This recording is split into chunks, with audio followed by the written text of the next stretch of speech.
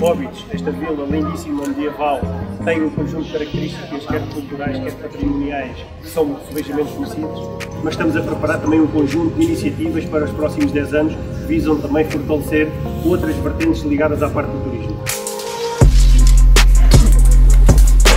Bem-vindos à muito nobre e sempre de